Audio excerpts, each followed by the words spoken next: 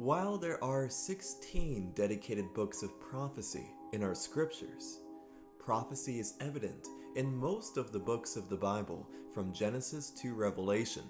Prophecy is simply everywhere. But what is the purpose of prophecy? Why is it there? The purpose of prophecy is to show that God is true, so that no man can plead ignorance in the coming day of judgment.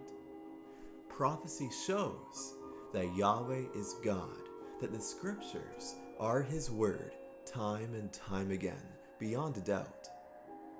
This is something which Yahweh Himself teaches us in Isaiah when He challenges the pagan idols to prove that they are gods by speaking about the future and the past.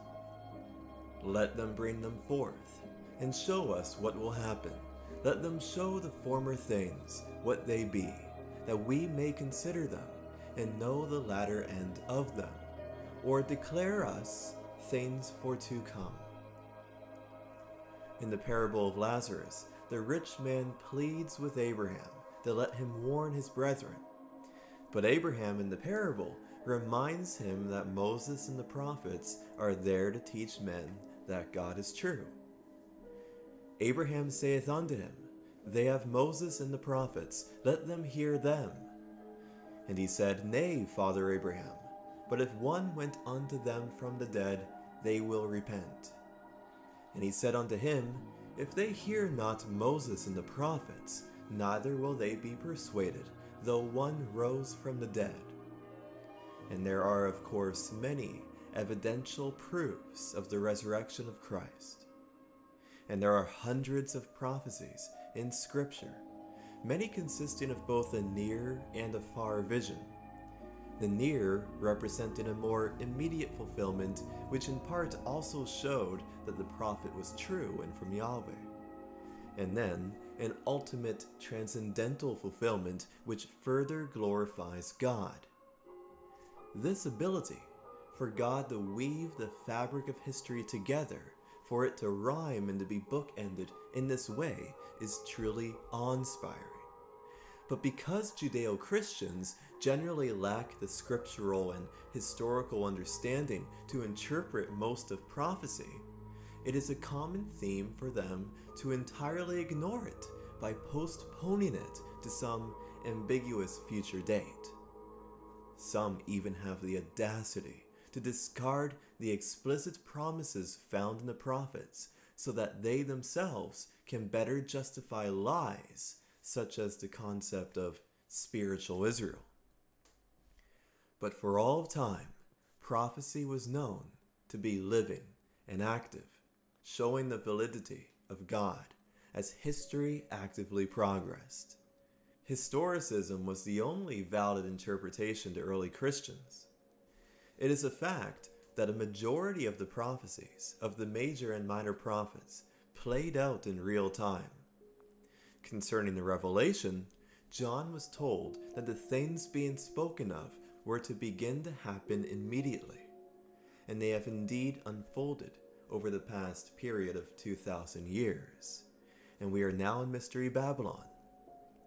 It wasn't until when the Catholic Church was seeking to hide itself from Christian accusations during the Reformation that the perverse deceptions of preterism and futurism were formed.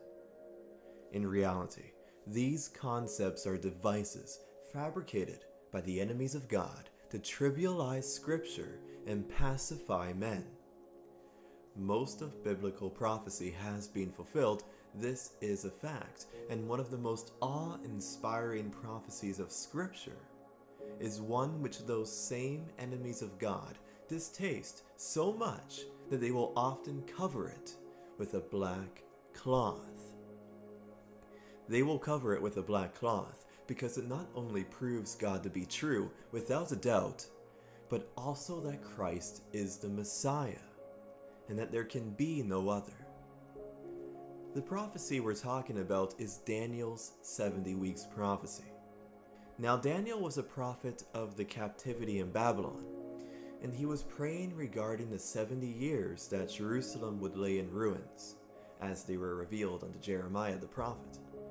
Jerusalem was destroyed, and the holy people were dispersed in captivity. So Daniel prays as he anticipates the rebuilding of Jerusalem, and after admitting the faults and the sins of Israel and Judah, he prays for mercy from the Almighty. Then, Yahweh sends the messenger Gabriel to answer Daniel's prayer. And not only does Gabriel comfort Daniel that the city will be rebuilt, but he explains to Daniel why it's being rebuilt. It's being rebuilt in order to pave a way for the Messiah. Seventy weeks are determined upon your people and upon the holy city to finish the transgression and to make an end of sins and to make reconciliation for iniquity and to bring in everlasting righteousness and to seal up the vision and prophecy and to anoint the most holy. Firstly, it can be established that a day in prophecy often represents a year and therefore a prophetic period of 70 weeks amounts to 490 years. So Daniel was being told that the rebuilt Jerusalem and remnant nation surrounding it will allow the Messiah to make an end of sin in roughly that amount of time. The very purpose of going back to Jerusalem and rebuilding the temple is identified here as a means to finish the transgression and to anoint the most holy. Jerusalem needs to be rebuilt because the Messiah needs to live a perfect life. And that includes things such as him presenting himself to the temple three times a year. He needs to be slain by Edomites who are still principally in the region of Palestine. He needs to gather apostles. This also fulfills several other prophecies, such as the tents of Judah being saved first. So there's many reasons. Essentially, Israel and Judah, who have now been divorced at this time, are paving the way for their own reconciliation. This was accomplished by Christ because what he did is what is described here in the prophecy. Let's read it. To finish the transgression. Well, this transgression is the state of divorce between Christ and Israel, and reconciliation was accomplished by Christ. To make an end of sins. This is a legal end of sins, not a physical end. This was done by Christ, and now if the seed is in you, your sin is not imputed to you any longer. Because we're now dead, we're therefore alive in Christ. To make reconciliation for iniquity. And Christ reconciled divorced Israel to himself. And Paul called his ministry a ministry of reconciliation. Christ came to gather the lost sheep of the house of Israel. It's their iniquity being spoken of here, and as Paul had written in Ephesians chapter 2, and that he might reconcile both unto God, both the Israelites in Judea and the Israelites who were dispersed in former times, unto God in one body by the cross, having slain the enmity thereby. Or in Colossians chapter 1, having made peace through the blood of his cross, by him to reconcile all things unto himself, by him I say, whether they be things in earth or things in heaven. And he can't be reconciling anything except what he promised to reconcile in the prophets. To seal up the vision. Now, where we see the word seal in Greek, it often means to ensure or to make something sure. It's not covered up in this instance, as many would jump to assume in this verse. The NAB, for example, uses the word ratified. And finally, to anoint the most holy. There's prophecies of the anointing of the Messiah in Zechariah, and Christ, Christos, literally means anointed in Greek. Think of how profound this is the very purpose of the Messiah has been described in detail. But now the timing of it adds yet another dimension, and in the following verse we read, Know therefore and understand that from the going forth of the commandment to restore and to build Jerusalem unto the Messiah the Prince shall be seven weeks and threescore and two weeks. The street shall be built again, and the wall, even in troublous times. So it says here that the weeks of the prophecy would not begin until the quote, going forth of the commandment to restore and to build Jerusalem, and not only the temple or the walls. This did not happen until the time of Ezra, around 458 BC. Then we read here in Daniel that from that time unto the Messiah the Prince shall be seven weeks and threescore and two weeks. That is 69 prophetic weeks, and therefore represents 483 literal years. So let's do the math. But first, before we do that, let's acknowledge that dates in ancient history are sometimes complicated to determine as much of it depends on how men want to rectify the reigns of kings. Whether the first year is counted inclusively or simply counted forward from the time of coronation, and the differences between these two will eventually build up and result in exponential differences between different reckonings. So while we may be off our estimate here by a small handful of years, the window of time is nevertheless clear and evident. Ezra receives his commission around 458 BC. 483 years later is roughly 2526 AD. Luke 3:1 tells us that Christ began his ministry during the 15th year of Tiberius Caesar, which was 28 AD. So, taking into account a small handful of years, since historical years can be hard to reckon, this is nevertheless a near exact spot on timing for the beginning of the Messiah's ministry, as we've just determined it. How could anyone but God ever give such a perfect window? Concerning the troublous times, those troubling times are seen in Nehemiah and Ezra.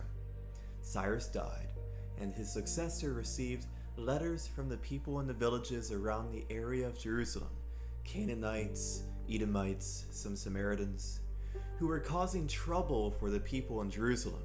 But regardless of their adversity, the city was eventually built. This is giving a reassurance to the people that no matter how much adversity they faced, that the city and temple will be rebuilt because it has to happen it has to pave a way for the Messiah so that God can keep his promises to Abraham. And prophets such as Haggai and Zechariah also gave comfort to the people while they were doing this thing.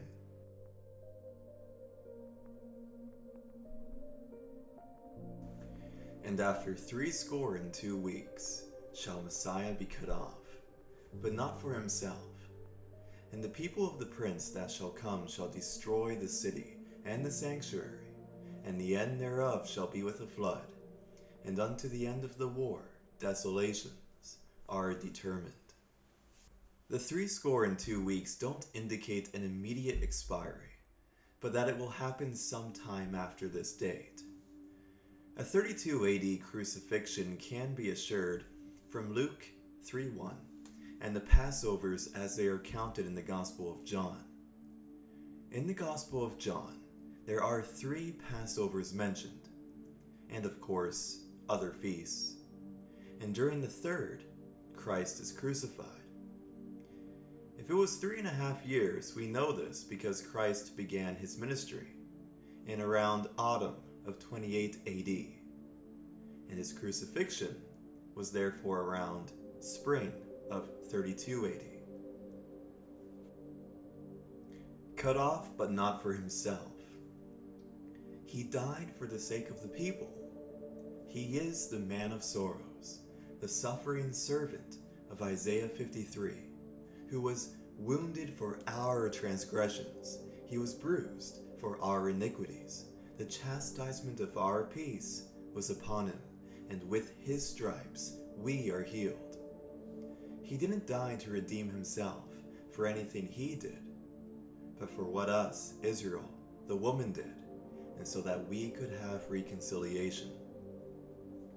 Here, the people of the prince are mentioned. These people of the prince are the people of the same prince who has been indicated to us this entire prophecy, Messiah the Prince. And it is told that they will destroy the city of Jerusalem after the Messiah dies. That is what's being told here. In 70 AD, the Romans did just that. Therefore, here the Romans are being identified as the people of the prince, which is fitting and which is true, because they are also heirs of the covenant. The Romans were Trojan Judahites from the Zerah branch of Judah.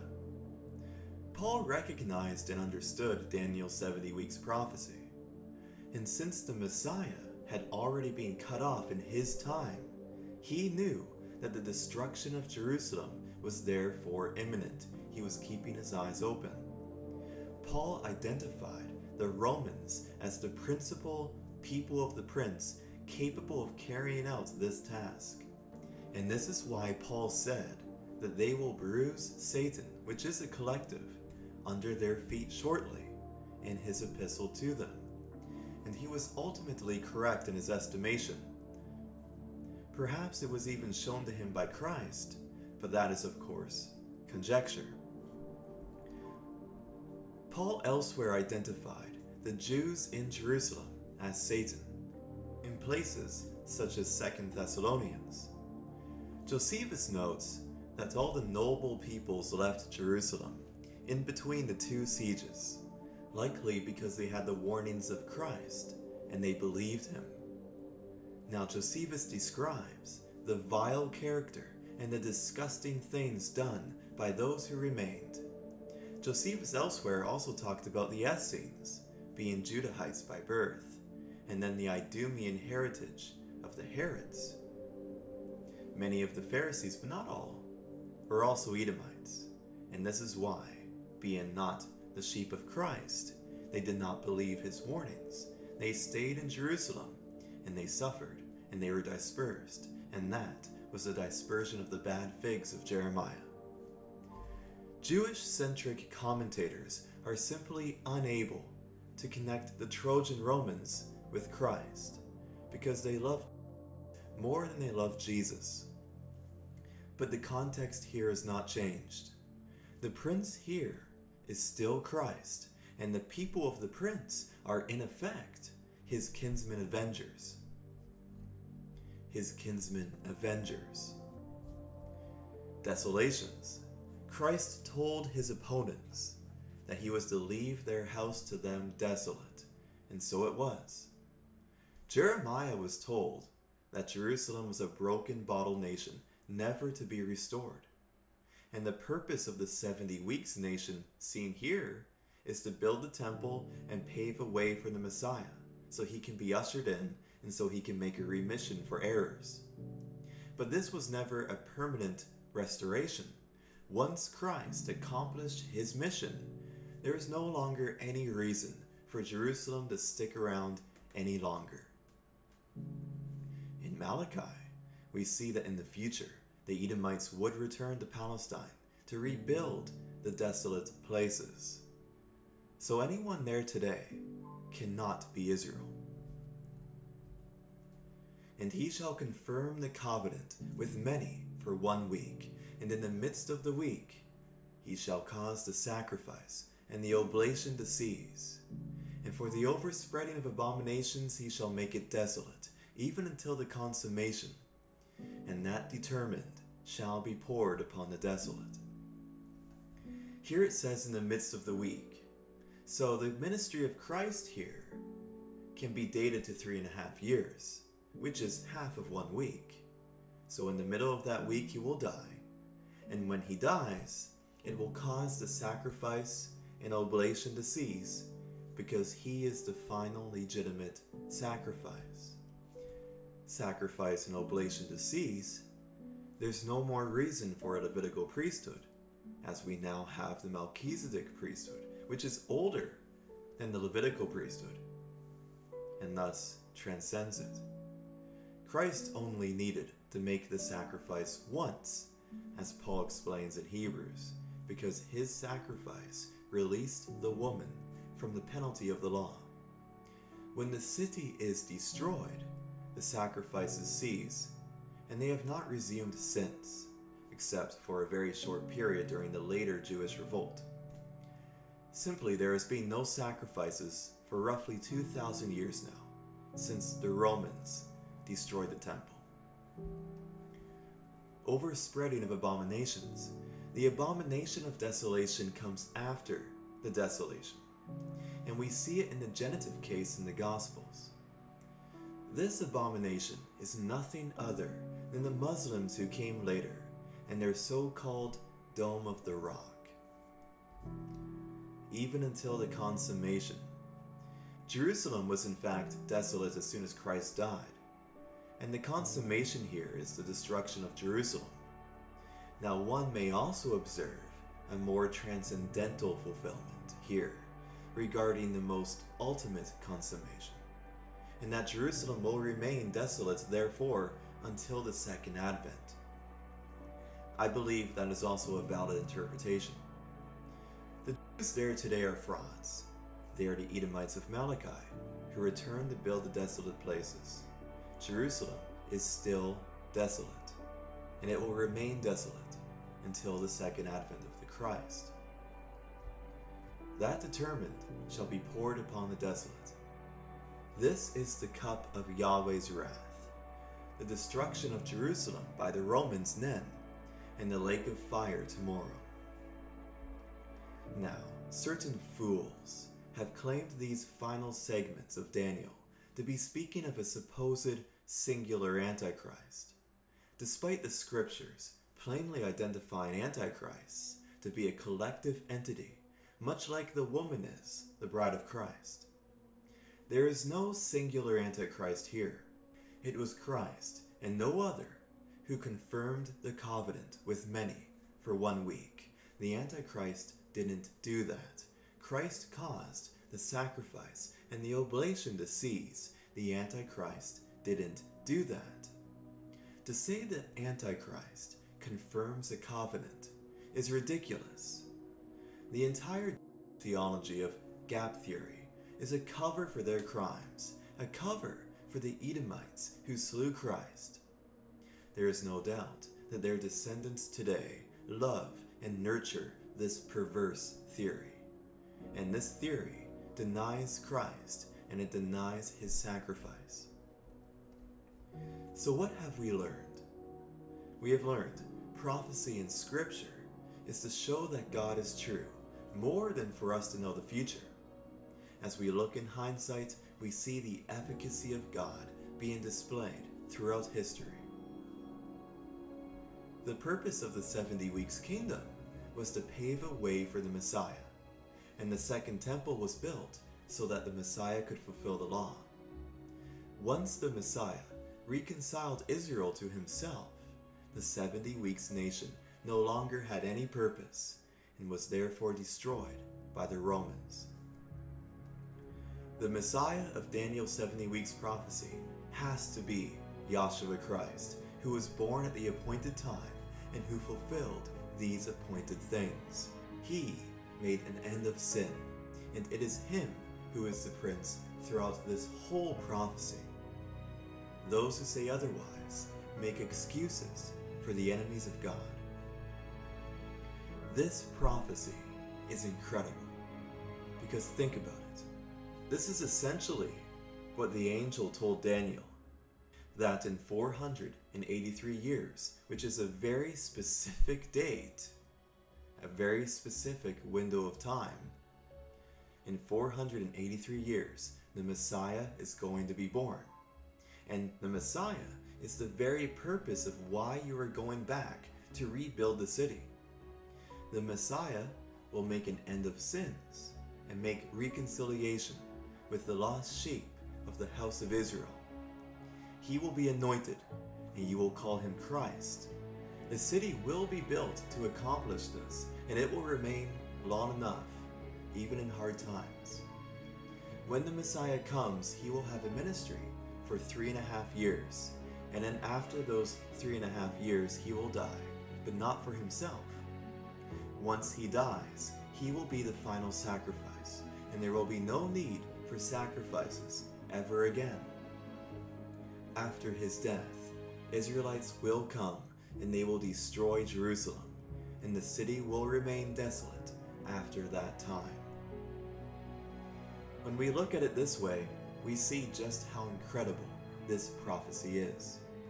And when put together with other awe inspiring prophecies in other prophets, such as how Zechariah told us that the Messiah's name would be Yahshua and that he would be called the branch, or the Psalms telling us in detail that he would be crucified and by whom. There is no doubt at all that Yahweh is God, that Yahshua was the Messiah.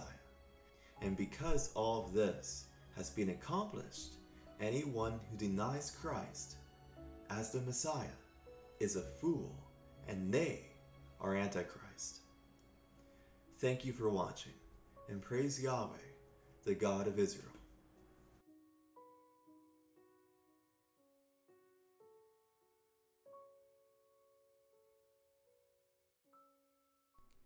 Thank you for watching this video.